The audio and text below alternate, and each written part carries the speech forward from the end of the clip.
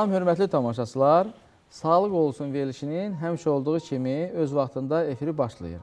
Diqqətiniz bizdə olsun. Bu gün də çox gözəl bir mövzumuz var. Əlal xüsusda kişiləri narahat edən prostatlər barədə danışacağıq. Qonağımız var. Qonağımız isə bizim çox gözəl tanıdığımız efirimizin dostu və bizim gözəl androloqumuz, dermatoveneroloqumuz, Andromed klinikasının sahibi və baş həkimimiz Mirzə doktor Cəfər Quliyevdir. Doktor xoş gəlmisiniz. Çox sağ olun. Doktor, bu prostatitlər dedikdə ə, mən inanmıram ki, 25 yaşından sonra hətta daha cavan insanları narahat edən bir sual olmasın. Hə, Bu yaşda, yəni 25 yaşından sonra kişilərin bir eşitmədiyi söz deyil. Tez-tez eşitdikləri bir sözdür. Nədir bu prostatitlər? Səbəblər nədir? Nədən yaranır? Bugün məni bura dəvət edildiyiniz üçün sizə öz təşəkkürümü bildirirəm. Demək, e, siz hələ yaşı biraz da çoxaltdınız. Ümumiyyətlə 14 yaşından sonra demək olar ki, kişilərin e, əksərinin e, böyük bir bəlası olan bir e, kəlmədir bu, prostat vəzi. Bəli. Bəzən e, pasiyentlərdə e, hətta ultrasəs müayinəsindən keçəndə onda demək prostat vəzinin ölçüləri filan filan yazılanda xəstədə artıq xof yaranır ki, vay məndə prostat var. Hı. Bilirsiniz, bu prostat sözü ümumiyyətlə bu kişilər üçün böyük bir bəladır. Hı. Elə bil ki, o Kabus. adam amadə bəli kabusdur bu həqiqətən də. Demək olar ki, kişinin e, bütün həyat fəaliyyətində həmin o prostat vəzi e, iştirak edir. Onun e, sekreti, onun e, nə bilim e, funksiyaları və ilə axır. Demək bunun e, ne, mən nə üçün dedim ki, bütün fəaliyyətində ona görə ki, e, prostatit olan artıq prostat vəzi yox, prostat vəzi hər bir kişidə var. E, orqanda prostat vəzi Bəli. e, tam Onun görmədim, iltihabına bu. deyilir prostatit. Bəli. Prostatitin elə e, narahatçılıqlar yaradır insanda ki, onun əsəbi pozulur. Gecə yatmağı pozulur, normal sidiyə çıxması pozulur, cinsi fəaliyyəti pozulur. Yəni bizi Hətta sonsuzluğa So, gətirib hə, çıxardır. bəli, ən e, necə deyərlər, ən dəhşətlisi odur ki, sonsuzluğa gətirib çıxarır və e, əlində qalmaq deyəndə ki, yəni e, niyə görə beləncik olur? Səbəb nədir? Səbəbi nədir? Səbəb odur ki, xəstədə bu e, demək e, prostatit əlamətləri əmələ gələndə onlar həkimlərini düzgün seçmirlər. Yəni prostatında problemi var, müraciət eləyir can həkiminə və yaxud cərraha Aidiyyəti və yaxud bir aidiyyəti olmayan həkimlərə. Onlar da özünüz bildirdiyiniz kimi demək e, firmaların 5 dənə, 3 dənə dərmanlarını əzbərləyiblər, onlardan yazırlar, get bunu elə yaxşı olacaq. Məlum şeydir ki, o yaxşı ola bilməz. Ona görə ki, prostat vəzinin iltihabını müalicə edən həkim birinci bilməlidir ki, prostat vəzi olan nə olan şeydir. Orqan olaraq anatomik bilməlidir. Bəli, heç olmasa anatomiyasını bilməlidir, heç olmasa onun topografik anatomiyasını bilməlidir.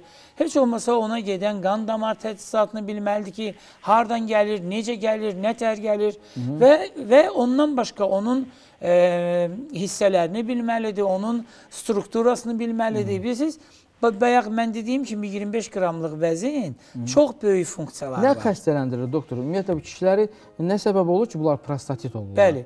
Bu iki formada olur əsas. Demək, biri e, cinsi yolla keçən xəstəliklərdən törədilən prostatitlər Hı, infeksiyalar. və infeksiyalar və adi e, iltihabın iltihab nəticəsində əmələ gələn prostatitlər.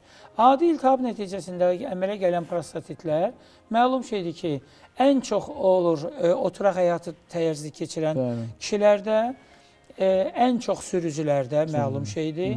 E, bundan əlavə immun sistemi Aşağı. çox aşağı düşmüş, yəni e, insanlarda. Amma cinsi yolla keçən xəstəliklərdən əmələ gələn prostatitlər məlum şeydir ki, e, demək e, onların törətdiyi fəsadları, yəni fəsadı törədən törədicilər var. İnfeksiyaların hesabına yaranır. Yəni infeksiyalardır. Bəli. Bunlara aiddir. Gonoreyadır, trixomonozdur, xlamidiyozdur, mikoplazmadır, ureplazmadır və ilaxır. Və Yəni bəli. orada bir çox xəstəliklər Yəni var ki, vaxtında müalicə olunmayan cinsi infeksiyalardan Bəli, sonra və gizli gedən infeksiyaların nəticəsidir ki, həmin bu, yəni prostatitlər əmələ gəlir. Prostatitlər dedikdə, yəni e, hətta burada yaş fərqi də e, nəzərə alaraq var prostatitlər, var prostatın adenoması, var prostatın xərçəngi. Yəni bunları mən xahiş eləyərəm e, tamaşaçılarımızdan ki, bunları çaşdırmasınlar. Çaşdırmasınlar. Hər prostat dediyimiz insanda e, xərçəng deyil. Hamı əməliyyatdan qorxur ki, Bəli, prostatit olduqda hamı bəli deyəsən- fikirləşir, amma ki nəzərə alaq ki, 40-45 yaşından sonra o kişilərin əksərində prostatitlərin əmələ gəlməsinin səbəbi onlarda olan hüceyrələrin sayının artmasından əmələ gəlir. Yəni hiperplaziya deyirik ona. Prostat vəzi ölçüsündən başlayır böyüməyə, bəli. E, o prostat vəzinin e, raz, e, ölçülərinin böyüməsi onda şiş xəstəliyi demək deyil. O sadəcə olaraq yaşla əlaqədar böyümədir. Və onun da öz müalicələri var. Yəni prostatitlər eyni e, müalicə ilə hamını müalicə etmək mümkün deyil. Hər bir xəstəyə, hər bir fərdə necə deyərlər, e, fərdi yanaşmaq Müalicə lazımdır və yanaşmaq. hər bir yaşın, hər bir e, xüsusiyyətin, hər bir simptomların öz e, müalicəsi var. Amma bizdə çox vaxt nətər olur? Hətta mən sizə deyim bəzi androloqların özü də çox vaxt mənim e, rastıma çıxır. Demək prostatitlə gəlib müraciət eləyib e, həkimə. Həkim onu ultra səsdən e, heç müayinə elətdirməmiş, heç bir müayinə olunmamış. Yalandan bir-iki infeksiya yoxlayandan sonra yazıb ona gücləndirici dərmanları. Həmin o xəstədə bəlkə elə adenoma var. Bəs adenoması olan xəstəyə sən gücləndirici dərmanları necə verirsən? Və o gücləndirici dərmanlardan artıq əmələ gələn prostatitlər də bir başqadır. O da yəni O da bir başqa bir bəladır. Onun bəlası e, bu birisindən də necə deyərlər, Daha çox. ha- daha çoxdur. Nəyə görə? Ona görə ki, bayaq söylədiyim kimi adi prostatitlər və yaxud zöhrəvi xəstəliklərlə yoluxan prostatitlərdən əlavə medikamentoz prostatitlər var. Hansı ki, Dərmanların həkimin bilməməzliyindən yazdığı dərmanlardan əmələ gələn prostatitlər var. Yəni bunlar e, bilirsiniz çox təəccüblü dəqiqətən. çox ə, həm təəccüblüdür, həm çox qorxulu bir şeydir. Yəni əgər adi prostatit gəlirsə, onu müalicə etmək çox asandırsă, medikamentoz ə, prostatitləri müalicə etmək çox ağırdır. Niyə? Ona görə ki, artıq orqanizm zəhərlənib, verilən lazımsız dava dərmandan, yəni mən sizə adi bir söz deyim.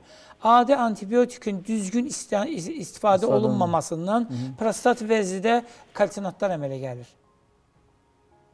Yəni bu nəyə gətirib Daşlar çıxarır? əmələ gətirir, Daşlar əmələ gətirir.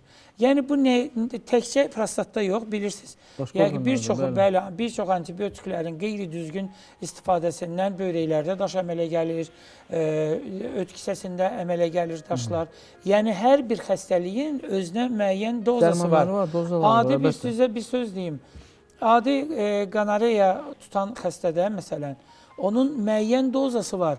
Ona götürüb güclü antibiotik vurmağın mənası Mənası yoxdur. yoxdur. Əksinə, çoxlu antibiotik vuranda o mikroblar başqa bir formaya çevrilir. Rezidentlik yaranır. Rezidentlik əmələ gəlir. Və salam, bu ilə də xəstənin evi yıxıldı. İmmun sistemini məhv elədi o. Yəni biz siz ona görə biz bu gün bu mövzunu seçdik ki, bu bu günləri e, ən vacib mövzulardan biridir. Ona görə ki, bizim pasiyentlərimiz allanır, yenə düz başa düşün məni. Hətta mən düzünü deyim valla, mən özüm də bu günləri burada çıxış eləyirəm. Çıxış eləyən həkimlərin də çoxsuna inanmağın mənası yoxdur. Ona görə ki, başı çıxdı, çıxmadı, ağzına gələni danışır. Xəstə gedəndə də e, lazım olan olmayan dava dərmanı verir. Nəticəsində bəli, xəstə e, necə deyərlər, sağalmaq əvəzinə dahi də e, Pisləşir. pisləşir. Nə əlamətləri? Məsələn, insan kişi ə, bildiyi hansı əlamətlərlə onda prostat şübhəsi, prostatit şübhəsi yaranar və həkimə gedər. Demək onun birinci simptomları nədən başlayır? başlayır? Gecə vaxtı sidiyə tez-tez durma. 1. E, ikincisi gün ərzində 7-8 dəfədən tez-tez sidiyə qaçma. 2. Üçüncüsü sidiyə çıxanda yandırma və yaxud göynəmə əlamətləri. 3. Dördüncüsü sidiyi saxlamaya bilmə, saxlama qabiliyyəti azalması. Azalması. E, beşincisi elektril disfunksiya. Altıncısı e, e, sonsuzluq. Yəni sonsuzluq nəyə götürə, görə gətirdik, çıxartdıq sonsuzluq? E, Bir çox xəstələr məsələn spermogramma verir, baxır orada faizi 40 faiz. Keçən dəfə bu verilişdə Mən bu bəli bu barədə danışmışdım. Ginekoloq baxır, deyir faizin əladır, get yaşa. Hmm. Amma xeyr, səhvdir. Əgər o xəstədə lisetin dənəcikləri Azdırsa azlıq da- təşkil eləyirsə, o insanın heç vaxt uşağı ola bilməz. Doğrudur. Bunu ginekoloqlar bilsinlər. Hı. Yəni bu nədən irəli gəlir? E, bu adam prostatitdir. Bunun prostat vəzisi normal e, sekret ifraz etmirsə, Hı. bu e, qadın e, qadın orqanına düşmüş spermaların bəli. hərəkətliyində e, əməl Problem varsa. problemlər varsa, bu necə hamiləyə qala Onlar bilər? üçün qidadır mən bildiyim. Bəli, bir növ e, prostatın, yəni necə deyirlər, şirəsi, o lisetin dənəcikləri deyirik, o bir növ o spermaların qidasıdır. Bəli. Yəni onlar olmadan o hamilə qalma ehtimalı çox azdır. Hərəkətlilik Bəli. zərbəyə bilər, yol boyu zərbə. Bəli. Amma bi- biz e, e, son vaxtlar mənim rastıma çıxır. Demək biraz gülüm gülümsüyürəm də valla düz başa düşün məni. Ginekoloqlar artıq qadınların ərlərini də başlayıblar müalicə eləməyə. Siz inanın mənim sözümə. Elə dərmanlar verirlər ki, o ginekoloq heç o dərmanın tərkibini bilmir ki, o spermanı artırmaq əvəzinə spermanı məhv eləyir. Məhv eləyir. Hı. Siz bunu, yəni Bəli. mənim sözümü səmimi başa düşün. Valla mənim o qədər rastıma çıxıb ki, xəstə gəlir, analiz verir, 20-25%, 30% sperma ilə gedir bir elə bir həkimə rast gəlir ki, həkim onun olan qalan e, spermasını da məhv eləyir. Məhv eləyir. O hamısı bilməməzlikdəndir. Bax indi prostatit olmamaq üçün doktor, ümumiyyətlə ə, cavan uşaqlar, yəni yeniyetmələr, ümumiyyətlə kişilər özləri ildə neçə dəfə yoxlanmalıdır? Laboratoriyadan keçməli, özünü müayinə etdirməlidir və hansı müayinələrdən keçməlidir? Doktor, ümumiyyətlə 14-15 yaşından sonra hər bir e, kişi kişilərdə prostat vəzinin artıq e, normal, e, necə deyirlər, normal Quruluşu formalaşır, bəli. quruluşu formalaşır. Sadəcə olaraq biz heç kim e, deyə bilməz ki, mənhində heç vaxt prostatit ola bilməz. Hı. Bu qeyri-mümkündür. Elə bir kişi ola bilməz ki, o həyatında prostatit olmaya. Qeyri-mümkün bir şeydir. Niyə? Əgər özünü zöhrəvi xəstəliklərdən qoruyursa, iltihabdan qoruya bilmir. Oturaq həyatdan qoruya Oturaq bilməz. həyatdan qoruya bilmir. Bilirsiniz, e, ona görə hər bir fərd, yəni kişi xeylaqlarından söhbət gedir. 30-35 yaşından sonra ildə heç olmasa bir dəfə, heç olmasa iki dəfə normal androloji uzi keçməlidir. Yəni uzi mən biraz belə xalq hə. dilində deyirəm, ultrasəs əslində. Nəyə görə keçməlidir? Heç olmasa orada aşkarlanmalıdır ki, bu insanda hansı androloji problem başlayır. Yəni vaxtında aşkarlayıb onu müalicə eləmək çox asandır. Vay o gündən ki, ötürülər, necə ki bizdə Azərbaycanda özünüz bilirsiniz də bu cür qəbuldur. E, sidiyə tez-tez çıxır, eybi yox, gecələr durur, eybi yox, erektil disfunksiya baş verib, eybi yox, artıq sidiyi saxlaya bilmir, eybi yox. Aha, sidiyə çıxa bilmir artıq. Artıq da ucu daralma gedir. Bəli. Bax həmin o momentdə gəlir həkimə ki, doktor ölürəm. Bilirsiniz, bu qaçılmaz bir şeylərdir. Sadəcə olaraq xəstəlik vaxtında aşkarlansa, əlbəttə ki, o xəstəlik normal müalicə oluna bilər və xəstə necə deyirlər, normal həyata qayıda bilər. Ultrasəslə olmaya bilər, məsələn, ultrasəsdə görünməyən prostatitlər də var. Yox, mən sizə deyim. Demək, e, ultrasəsdə o vaxt e, xəstəlik aşkarlanmır ki, o ultrasəs həkiminin o prostat vəzindən başa çıxmır. Ha, gözəl. Çünki xəstə gəlir e, ultrasəsə, deyir ki, mənim problemim var. Əgər o ultrasəs həkimi onun normal müayinə eləyə bilmirsə, demək ultrasəs həkimindədir günah ki, o xəstəni düzgün müayinə Yəni, eləmir. tapa bilmir səbəb nədir? Bəli, tapa bilmir. Tapa bilməmək üçün də nə üçün? Mən bayaq söylədim. Yəni androloji uzi tamam başqa bir şeydir. O ba- biziz ultrasəs həkimləri çoxsu, demək olar 90%-i nəyə fikir verir? Ölçüsünə, ex strukturasına və salam. A, prostat vəzdə bir nə qədər incəliklər var. Ona 2 dəqiqə üstdən baxmaqla onun ölçülərini ölçüb yazmaq o xəstəni məhv eləmək deməkdir. Doğrudur. Prostat vəzi heç olmasa 8-12 profildən baxılmalıdır. Və Problemi aşkarlamaq üçün. problem aşkarlanmaq üçün və ondan əlavə xəstənin sidik kisəsi tam dolu olmalıdır. Orada da e, həkim səhv eləyə bilər. Və yaxud sidik kisəsi yarımçıq doludur. Orada prostat vəzinin nə ölçüsü götürülə bilər, nə onun e, ex strukturası normal görülə bilər. Yəni ki, tamam necə deyək, səhv diaqnoz qoyula bilər. Ona görə bax bizim klinikanın məsələn xüsusiyyəti nədən ibarətdir? Bizə müraciət eləyən, yəni şəxsən mənim müraciətdən söhbət gedir. Onlar birinci ultrasəs müayinəsindən mütləq keçirlər. Doktor, qısa reklam aramız var. Baxıb qayıtmalıyıq. Buyurun doktor. Prostatit olan insanlarda bilirsiniz ki erektil disfunksiya e, Yaranır. yaranır. Xəstənin birinci dərdi nə olur? Xəstənin həkimin yanına gələndə birinci sualı olur. Doktor, məndə erektil disfunksiya düzələcək? Birinci sualı bu olur. Onu narahat edən əsas məsələ olur. Bəli. Amma əslində prostatit normal müalicə olunsa erektil disfunksiya onsuz da düzəlir.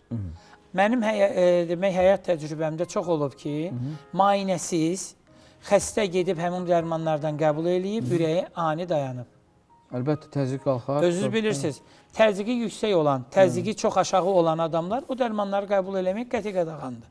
Doğru. Ona görə ki, onlar ani ürək dayanması verə bilir. Verə bilər. Prostat vəzinin bayaq dediyimiz kimi e, orqan kimi hər bir kişidə var. Və bunun Sadəcə olaraq, bəli. normal aparılmalı. Sadəcə olaraq onun müayinəsi düzgün aparılsa, ildə bir dəfə, çox lazım deyil, ildə bir dəfə 40 yaşından sonra hər bir kişi əgər normal androloji uzi keçərsə, onda heç vaxt heç bir zaman problem yarana bilməz. Bəs prostat şirəsinə ehtiyac olurmu götürülməsi? Bilirsiniz, prostat vəzinin şirəsini o vaxt götürülür ki, artıq e, xəstədən adi yaxma götürmək mümkün olmur. Amma o prostat vəzinin şirəsinin götürülməsində də ehtiyatlı olmaq lazımdır. Yenə o ultrasəs müayinəsindən keçəndən sonra götürə bilərsən. Nədən? Niyə? Ona görə ki, orada adenomatоз düyün ola bilər. Yəni, daş ola bilər. Bəd və yaxud xoş Doğrudur. kristallar ola bilər. Doğrudur. Yəni o e, sadəcə olaraq prostat vəzinin e, sıxan zaman siz onun prostat vəzini zədələyə bilərsiniz. Və mənə beləncə düzünü deyim sizə müraciət edənlər çox olur. Deyir ki, getdim filan yerə, məndən prostat vəzinin şirəsini götürdülər. Ondan sonra mən daha da pisləşmişəm. Bəli, düzdür. Bayaq dediyimiz sözlər Məsələdir. onun yekonudur ki, bəli, müayinəsiz prostat vəzi şirəsini götürəndən sonra həmin o xəstələrdə o problem yarana bilər. Doktor, klinikamızda ə, Andromed klinikasında başqa hansı müayinələr var ki, yəni spesifik ə, deməli prostatit prostatitin diaqnozunda istifadə olunur və bu bilirsiniz ki, 100%lıq nəticə verəcək. Bilirsiniz, e, demək e, bizim ən gözəl xüsusiyyətimiz odur ki, bizdə androloji uzi var. Hı -hı. Yəni bu deyim sizə çox yerdə yoxdur. Aparat 2 milyonluq da qoymaq olar. Əgər onun qarşısındakı həkim savadsızdırsa mənası Xalq yoxdur. olmalıdır. Yəni aparatın dili yoxdur, ağzı yoxdur ki, danışsın. Sadəcə olaraq aparatı danışdıran spesialistdir. Spesialist olmalıdır ki, onu aşkaraya bilsin, onu büruzə versin, onu yəni düzünü deyim sizə biz 15 ildir fəaliyyət göstəririk. Hələ olmayıb ki, bizə gələn pasiyent bizdən narazı qala. Mümkün deyil, ola bilməz. Niyə? Ona görə ki, biz pasiyentin xahişi ilə yox, lazım olan müayinələri eləyirik. Bizə lazım olan şeyi biz müayinə eləyirik ki, pasiyent bizdən narazı qalmasın. Narazı qalmasın. Təkcə ultrasəs müayinəsi bir, birincidə çox kifayət bir müayinədir. Müayinədir ki, Ondan başqa hər hansı bir analiz var, istər qanda, Birinci istər digəri. Bəli, yəni ultrasəs müayinəsindən sonra məlum olunur ki, bu xəstəyə əlavə nə etmək lazımdır.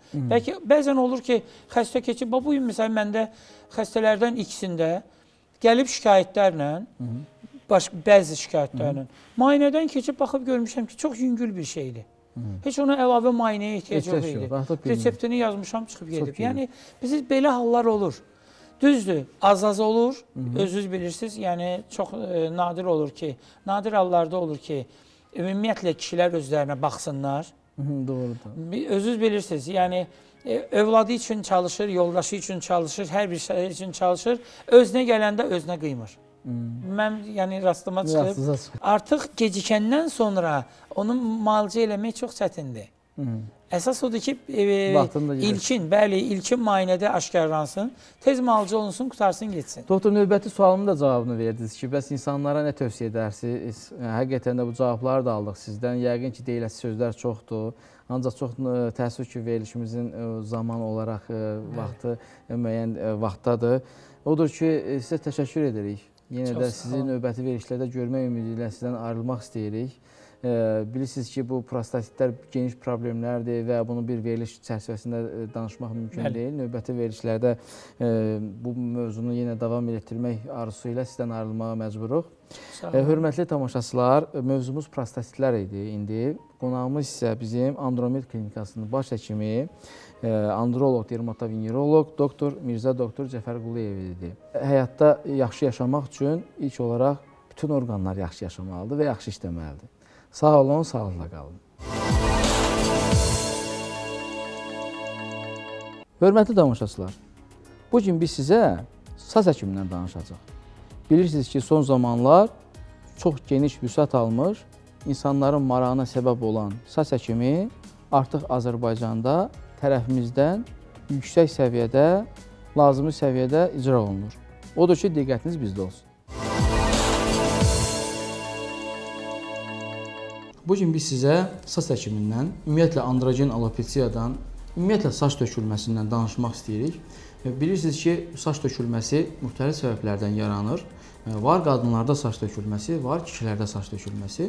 Qadınlarda saç tökülməsini əlbəttə ki, diqqətdən qaçırmaq olmaz. Çünki bizim gözəl xanımlarımızın həmişə buna ehtiyacı olur.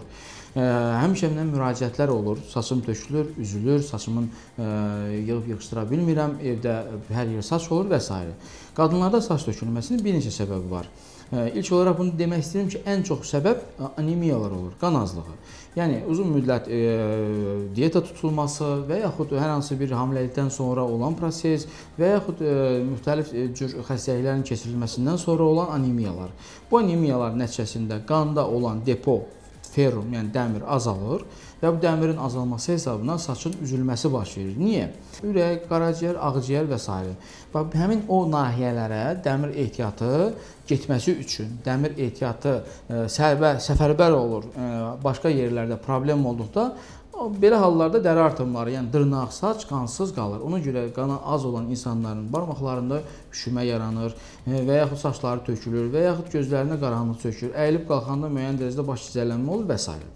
Bir də var ki, qadınlarda stressdə bağlı olan saç tökülməsi. Stressə bağlı saç tökülməsi də geniş yayılıb. Aydın məsələdir ki, burada səbəb yenə stressdir, yəni sinir hüceyrələrinin problemidir. Digər məsələ hormonal məsələlər olur. Yəni hormonal məsələ dedikdə testosteron artıqlığı və yaxud digər hormonların problemi və yaxud zob olması, qalxanvari vəznin səbəbləri və s. Bundan başqa irsi meyllilik də var saç tökülməsi qadınlarda. Ona görə də qadınlarda olan saç tökülməsini bilmək üçün mütləq müayinələrə ehtiyac olur. Qadınlara saç əkilməsi çox vacib olmur. Çünki orada multifaktorial səbəblər olduğu üçün bir növ gərək insan özünü müayinə edib ondan sonra artıq saç əkimi ehtiyac olursa da saç əkimi etmək olar. Qadınlara saç həkimi və yaxud qaş həkimi o zaman olur ki, həmin nahiyələrdə anadan gəlmə saçlar olmur və yaxud müxtəlif travmalar nəticəsində həmin nahiyələrdə saç tökülmüş olur. Keçək kişilərə. Kişilərdə saç tökülməsi çox geniş yayılıb. Demək olar ki, yer üzündə 30% kişilərdə bu və ya digər dərəcədə androgen alopesiya var. Bu androgen alopesiya bu kişilərdə olan saç tökülməsidir. Yəni ə, hormonlara bağlı genetik saç tökülməsi. Nə deməkdir bu? Saçın özünün, başın özünün təpə nahiyəsi və alın nahiyəsi ə, ön tərəfdən arxaya qədər androgen zonadır. Yəni hormonlara həssas zona olduğu üçün bu da insana ötürülür irsi. Nəticədə o hissələrdə tüklərin çox yağlanması, saçın dibinin çox yağlanması, dərinin çox yağlanması hesabına yatmağa gedən tüklər, yəni anagen fazaya gedən tüklər təzədən çıxa bilmirlər. Katagen fazaya gedən tüklər təzədən çıxa bilmirlər. Katagen fazaya tük mütləq getməlidir. Yəni yatmağa getməlidir. 6 ildən bir, 5 ildən bir başın tükünün özünün müəyyən X tükləri tutaq ki, yatmağa getməlidir, dincəlməyə getməlidir. Yəni bunların dincəlmə fazasından sonra yenidən əmələ gəlməsi problem törədir və da insanlara e, diskomfort verir, insanın görkəmini dəyişir, ön cizgi e, itir. Nəticədə o hissə, hissələrdə hamımızın bildiyimiz axır vaxtları e, demək olar ki, ehtiyac olan saç həkiminə ehtiyac olur. Saç həkimi əslində e, adını biraz dəyişərdim, deyərdim ki, kök həkimi, saçın kökünün həkimi deməkdir. E, saçın telinin həkimi deyil. Burada məqsəd odur ki, kökü əhatə edən həmin o ə, tüklər, yəni kökü əhatə edən epiteli bir yerdə köçürülür başqa bir nahiyə. Başqa bir nahiyə köçürülən zaman tüklər artıq o e, köklərdən bir neçə aydan sonra e, deməli e, əmələ gəlməyə başlayır. Bəs bu tükləri biz hardan alırıq? Bu tükləri biz e, ənsə nahiyəsindən, arxa nahiyəsindən, boyun nahiyəsindən heç vaxt tökülməyən zonadan alırıq. Heç yəqin ki, görməmisiniz ki, tüklər arxa nahiyədə, ənsə nahiyəsində hansısa kişilərdə tökülmüş olsun. O donor zonadan hamısını deyil müəyyən hissəsini almış oluruq və həmin aldığımız tüklər köçürülür deməli resipient zonaya, yəni saç əkimi ehtiyac olan zonaya.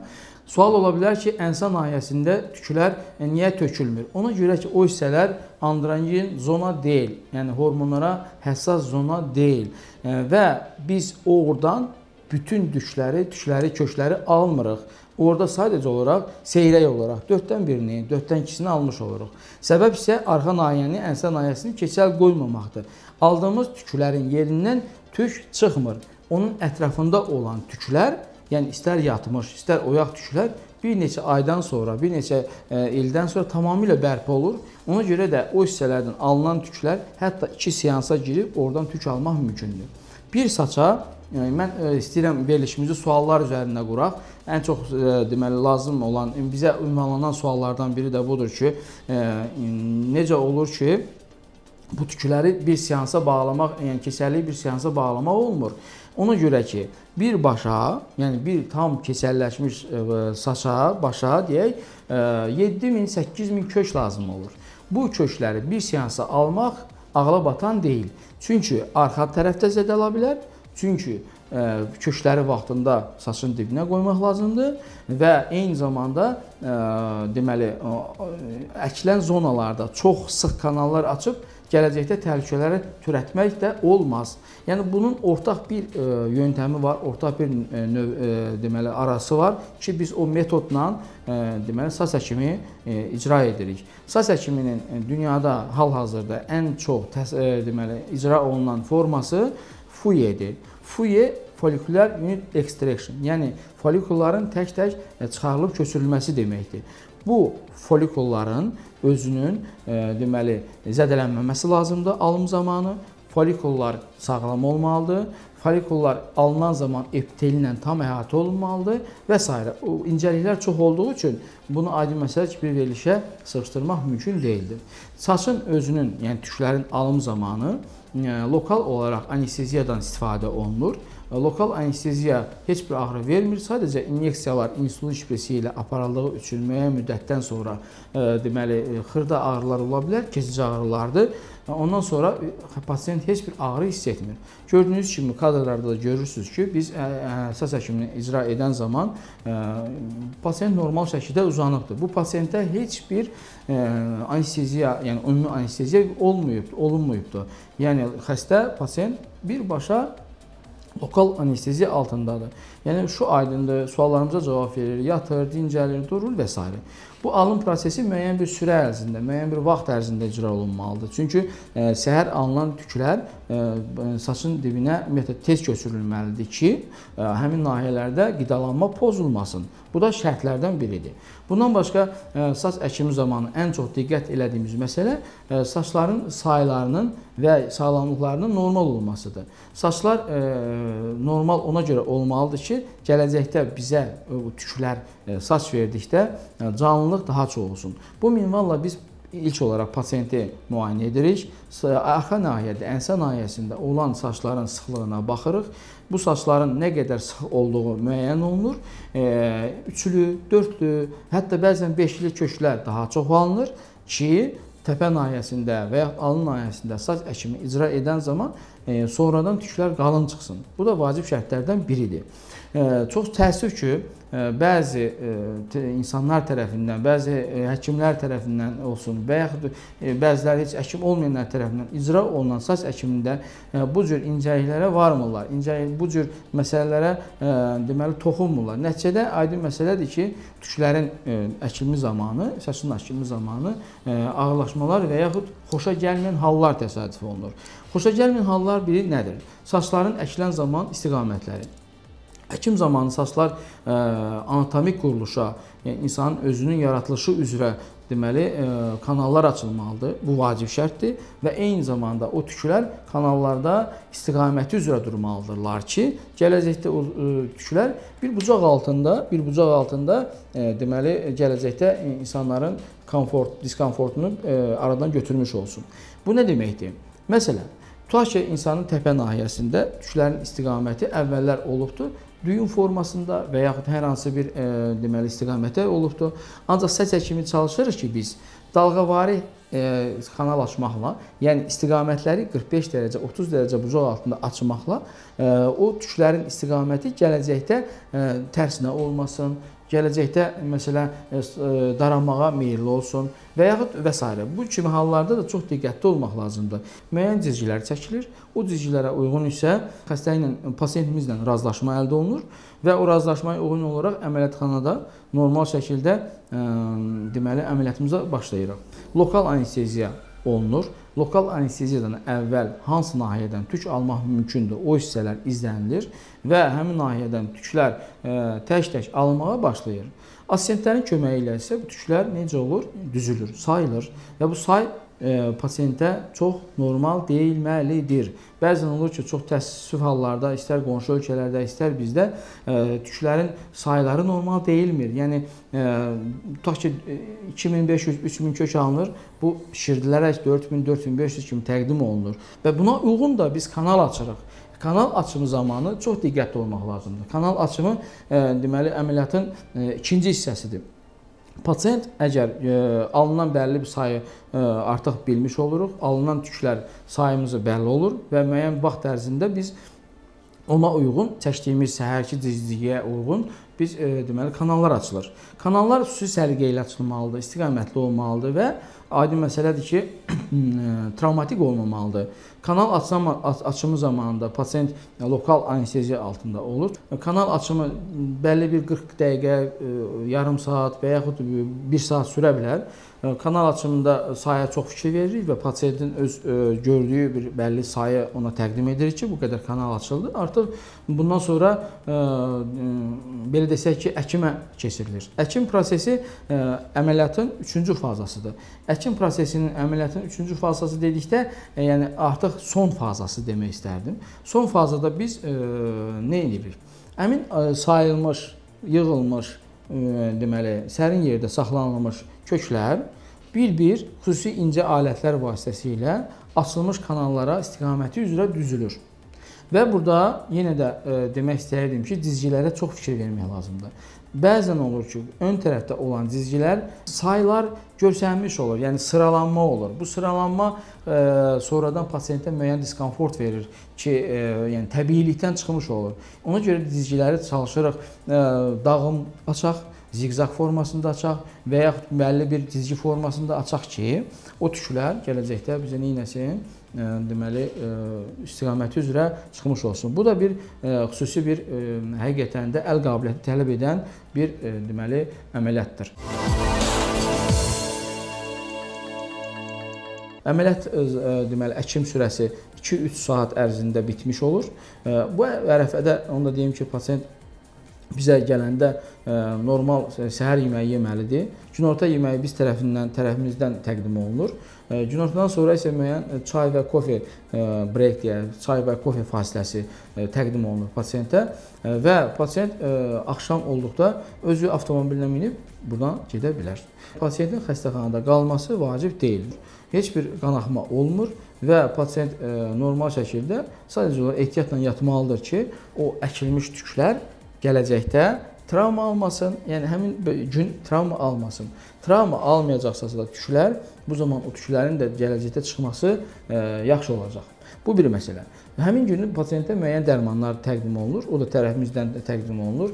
Bu da nə üçündür? Adi e, sıradan tablet formasında antibiotiklər təqdim olunur ki, pasiyent normal şəkildə e, infeksiyadan da sığortalaşmış, sığortalanmış olar. 4 gün o hissələrə su vurmuruq.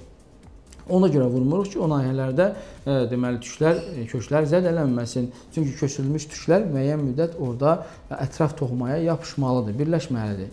Bundan başqa e, 4 gündən sonra tərəfimizdən təqdim olunan xüsusi e, şampun, xüsusi bir lasyon vasitəsilə ilk yuma əməliyyatı, ilk yuma prosesi həyata keçirilir. E, yuduqca bir neçə gündən sonra qabıqlar tökülür.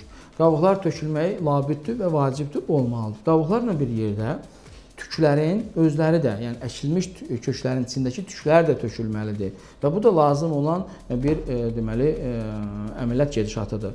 E, o tüklər ona görə tökülməlidir ki, onlar müəyyən müddət travma almış olur. Ona görə də onların müəyyən müddət tökül tökülməsi vacibdir. Bu minvalla biz e, 4-5 gün ərzində, yəni söhbət ilk yumadan gedir. İlk yumadan 4-5 gün ərzində ilk qabıqlar tökülməyə başlayır. Qabıqlar 10 gün ərzində tökülməlidir mütləq və yerində qalan tüklər insanı məmnun edən tüklər olur ki, artıq tüklərin e, deməli çıxmağa başlayır. Amma belə halda çox da sevinmək lazım deyil.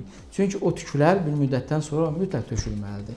Tökülməsə o tüklər bizim istədiyimiz deməli gələcəkdə saçı verməzdir. İdman ə, halları 20 gün məhdudləşdirilir. Çox tərləmək 20 gün olmur. Yəni ehtiyac ə, görülür, tövsiyə olunmur və bundan sonra pasiyent normal şəkildə idmana gedə bilər, normal şəkildə üzücülüklə məşğul ola bilər, saçının dibinə ə, deməli ə, müxtəlif öz şampunlarından yuma əməliyyatı yumasını edə bilər, müxtəlif ə, baş örtüklərindən istifadə oluna bilər. Saçlar çıxmağa başlayır 4-5 aydan sonra. 4-5 aydan sonra ilk olaraq tüklər uzanmağa başlayır. Bilirsiniz ki, saç ə, ümumiyyətlə uzanma qabiliyyəti ə, 1,5 sm ay ərzində ola bilər, yəni uzana bilər. Bu ə, deməli ə, 1 il ərzində 15-20 sm uzanan saçlar, ona görə də bizim bir balaca səbirli olmağımıza ehtiyac var. Uzanan saçlar artıq bir neçə müddətdən sonra ə, yuyula bilər, ə, kəsilə bilər, darana bilər və s. Yəni saçı sıfır qırxdırmaq da tövsiyə olunmur ilk ayda. Sonrakı aylarda qırxdırmaq ə, deməli mümkündür. 6 aydan sonra tüklər ki çıxmağa başlayır. Pasientlərimiz gəlir bizim qəbulumuza baxış edirik.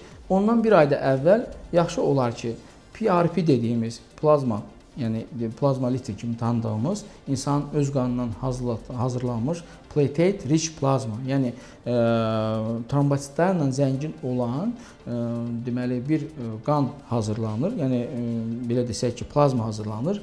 Bu insanın saçının dibinə inyeksiya olunmaqla, yəni nöqtə-nöqtə mezoterapiya şəklində inyeksiya olunmaqla e, saçların daha da yaxşı çıxmasına, daha da sürətli çıxmasına, daha da deməli problemsiz çıxmasına kömək etmiş olur. Odur ki, belə hallarda e, pasiyent ayda 2 dəfə gəlməklə 6 ay keçdikdən sonra saçların normal şəkildə çıxmasını daha da təmin etmiş olur.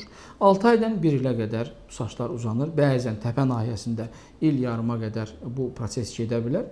Bir neçə ildən sonra sıxlaşma əməliyyatı ehtiyac olan insanlara, yəni söhbət gedir bayaq dediyim kimi bir seansa o boy o qədər saç deməli kök köçürə bilmədiyimiz üçün bir seansa bizim deməli köçürə biləcəyimiz kökdən əlavə kök lazım olarsa da, o zaman ikinci seansa ehtiyac ola bilər.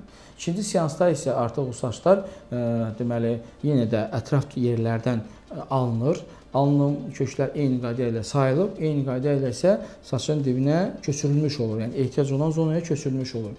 Bəli, bu saçlar gələcəkdə uzanır, bu saçlar gələcəkdə qırxılır. Yəni insan öz saçından ayrı e, seçilmir.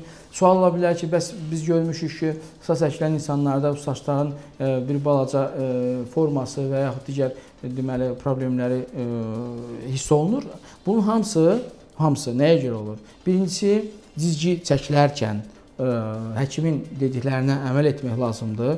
İkincisi, ə, e, deməli, pis saç əkimi ə, e, olan insanlarda belə bir şey ola bilər. Pis saç əkimi dedikdə qısa olaraq mən istərdim ki, bu haqqında da məlumat verəm. Nə deməkdir? Deməli, saç alımı zamanı müəyyən qanunlara əməl etməyərək köklərin alım zamanı zədələnməsi. Bu buradan başlayır. İkincisi, kanal açımı zamanı və yaxud e, düzüm zamanı köklərin zədələnməsi. İkinci travma buradan başlayır. E, tüklərin vaxtında saçın dibinə köçürülməməsi. Üçüncü məsələ də buradan başlayır. Bundan başqa e, deməli kanalların çox dərin və yaxud çox dayaz açılması, istiqamətlərinin normal olması, olmaması. Bundan başqa deməli qabaq nahiyənin cizgisinin normal olması, olmaması, şişirtmə olaraq icra olunan inyeksiyaların normal olmaması. Yəni o qədər nüansları var ki, hansılar ki saymaqla bitmək olmaz. Arxa tərəfdə olan ənsədə çox sıx zamanı arxa tərəfdə yırtılmaların olması, bu hamısı pis saç həkiminin əlamətləridir. Yəni pis düzdür, individual olaraq insanlar ola bilər ki, müəyyən dərəcədə saç həkimi onlarda normal ə, ola bilməz. Səbəb isə yenə də ə, genetik meyllilik. Ancaq bunu hər halda həkim birinci baxış zamanı az-çox bilməlidir ki, problemlər nə ola bilər? Məsələn, hansı insanlara saç əkmək olmaz? Yaş məhdudiyyəti yoxdur. Yəni 20 yaşından, 21 yaşından sonra çox təəssüf cavan uşaqlarda da tökülmə mümkün, tökülmə müşahidə olunur. 22-23 yaşından sonra saç əkimi göstərişli kimlərəsə 60-65 yaşında da bizim pasientlərimiz olubdur və çox da normal özlərini hiss ediblər. Söhbət ola bilər ki, sual ola bilər ki, ağ saçlar və ya qara saçlar, əkilən saçlar qarışıq olur. İnsanın ensə nahiyəsində nə saçları var, nə rəngdədirlər, həmin rəngdə saçlar köçürülür. Sadəcə saç çıxan zaman əkilən zonada, yəni təzə düzələn saçlar bir balaca ə, tünd çıxır. Bir müddətdən sonra onlar da rəngləri qarışmış olur. Zamana uyğun olaraq olan bir məsələdir. Bundan başqa saçların qıvrımlıq məsələsi. O da insanın özünün qıvrım saçlı olmasına bağlı olan bir məsələdir. Yəni qıvrım saçlı insanlardan alım biraz çətin olur, ancaq düz saçlı insanlardan alım daha çox olur. Bəzən olur köklərin dərinliyi, uzunluğu çox olur. Nəticədə o hissələrdə deməli tükləri daha dərinə qoymağa ehtiyac olur. Bu qədər incəlik olan bir əməliyyat olduğu üçün belə hallarda çox rica edərəm sizdən, söhbət bizdən getmir. Seçim zamanı həkim, saç həkimi mütəxəssisi, saç həkimi həkimi seçən zaman çox diqqətli olmaq lazımdır ki, sizin gələcəkdə problemləriniz olmasın və pis saç həkiminiz olmasın. Beləliklə mən sizdən sağollaşmaq istəyirəm. Vaxtımız sona çatır. Sağ olun, sağlıqla qalın və saçlarınızın qeydinə qalın. Bax belə hörmətli tamaşaçılar. Bu gün də biz sizə iki maraqlı mövzu haqqında məlumat verdik. Bu cümə günü yəqin ki, verdiyimiz məlumatlar sizə çox faydalı oldu. Bilirsiniz ki, Azərbaycanda inkişaf edən təbabət həmişə insanların xidmətindədir. Amma sağlığınızı qorumaq sizin borcunuzdur. Çalışın, sağlam olun. Sağ olun, sağlıqla qalın.